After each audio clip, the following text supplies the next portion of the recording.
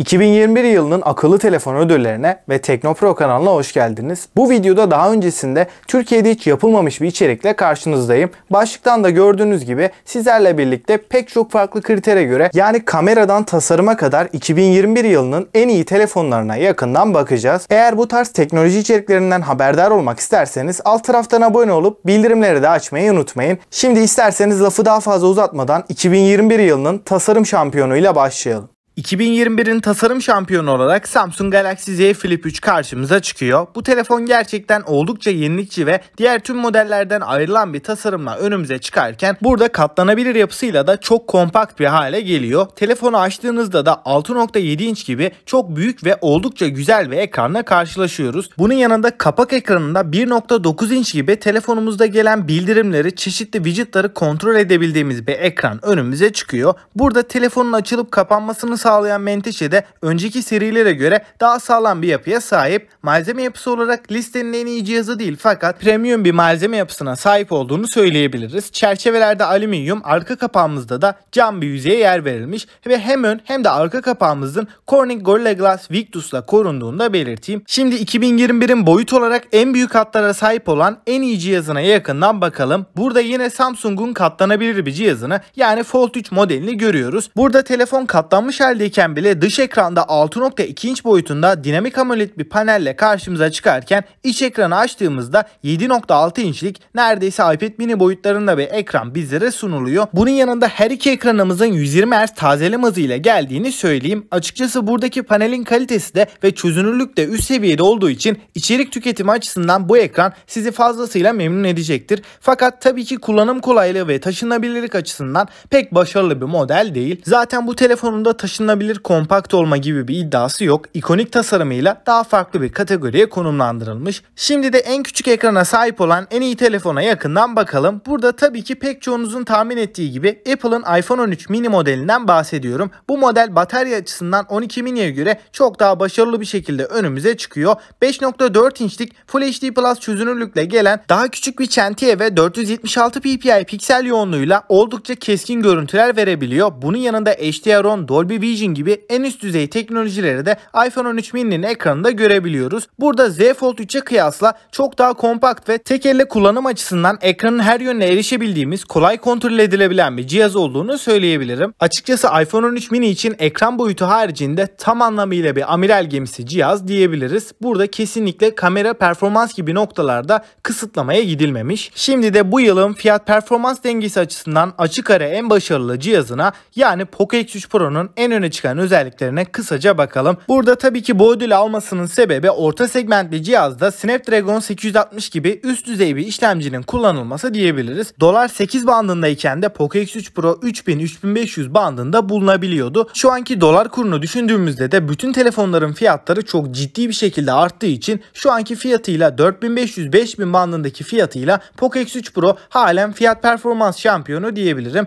Bu cihazda 6 ve 8 GB'lık RAM'ler bulunurken depolama alanı olarak da 128 ve 256 GB'lık versiyonları bulunabiliyor. Bu telefonu öne çıkaran neden sadece işlemcisi değil ekranının 120 Hz tazeleme ve 240 Hz dokunma hassasiyetini desteklemesi. Bu da fiyat performans şampiyonu olmasındaki en büyük etkenlerden diyebiliriz. Şimdi 2021'in genel kamera deneyimi açısından en iyi telefonuna bakarsak burada iPhone 13 Pro Max karşımıza çıkıyor. Arka tarafta üçlü kamera sistemini ve lidar sensörünü görüyoruz ve burada bir önceki nesile göre kamera lensleri çok daha büyümüş bir durumda. Bu da özellikle bir video fotoğraf çekerken ışığı çok daha iyi bir şekilde alacağından daha başarılı görüntüler elde edebileceğimizi söyleyebilirim. Arka taraftaki 3 kameramızın da 12 megapiksel çözünürlüğe sahip olduğunu söyleyeyim. Kameraların detaylarını da ekranda görüyorsunuz. Burada ana kameramızdaki en önemli nokta sensör shift OIS desteğinin bulunması. Yani sensör bazlı bir OIS desteğinden bahsediyoruz. Bu da özellikle yürürken veya tripoda bağlı olmadan yaptığımız çekimlerde titremeleri çok daha minimum seviyeye indirerek daha sinematik profesyonel düzeyde videolar çekebilmemizi sağlıyor.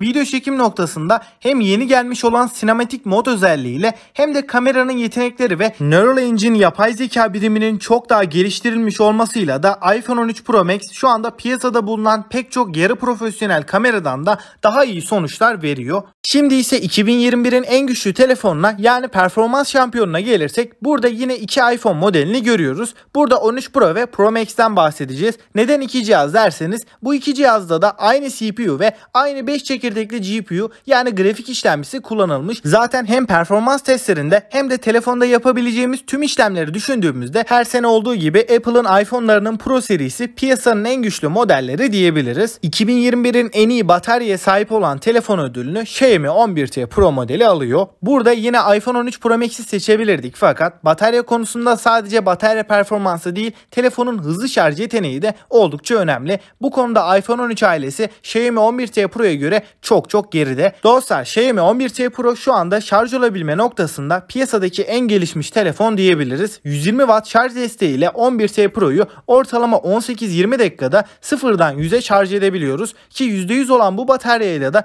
bir günü hatta iki günleri zorlayan bir performansı da bize rahatlıkla verebiliyor. Ve bu devasa güce sahip olan 120 wattlık adaptörün de kutu içeriğinden çıkması Samsung, Apple gibi firmalara göre önemli bir avantaj sağlıyor. Şimdi en dayanıklı telefon ödülüne gelirsek iPhone 13 Pro ve Pro Max'ten bahsedeceğiz. Burada iki cihazın da kasasında paslanmaz çelik bir yapı bulunurken arka kapağında ve ön yüzünde Apple'ın Ceramic Shield olarak adlandırdığı bir telefonda kullanılan en dayanıklı cam yüzeyi karşımıza çıkıyor. Elde tutuş hissiyatı açısından da her iki telefon diğer tüm modellerden ayrılan oldukça premium hissettiren bir yapıya sahip. Son olarak 2021'in en iyi ekrana sahip olan telefonuna baktığımızda burada Samsung'un en tepe modelini yani Galaxy S21 Ultra'yı görüyoruz. Ekran noktasında S21 Ultra gerçekten her anlamda açık ara en üst seviyede diyebiliriz. 6.8 inç gibi çok büyük bir ekran bizlere karşılarken en gelişmiş AMOLED panel olan dinamik AMOLED panel QHD Plus çözünürlük ve 525 ppi'lik inç başına düşen piksel yoğunluğuyla çok keskin görüntüler sunabilen ve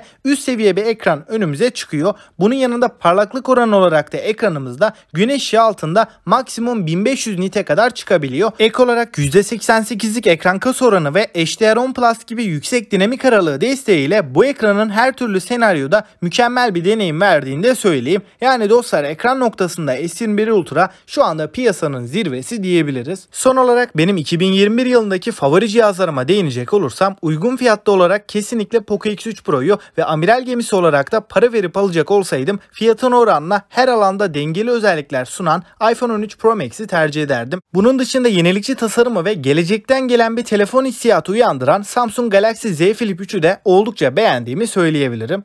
Evet dostlar bu videoda sizlerle birlikte kamera, tasarım, performans gibi pek çok kategoride 2021'in en iyi telefonlarını birlikte seçmeye çalıştık. Peki sizin şu özellikle bu telefon olsa daha iyi olurdu dediğiniz cihazlar varsa görüşlerinizi yorumlar kısmında bekliyorum. Zaten yazdığınız yorumları tek tek okuduğumu belirteyim. Pek çoğuna da cevap vermeye çalışıyorum. Bu videodan bu kadar diyelim. Bir sonraki videomuzda görüşünceye dek kendinize iyi bakın ve hoşçakalın.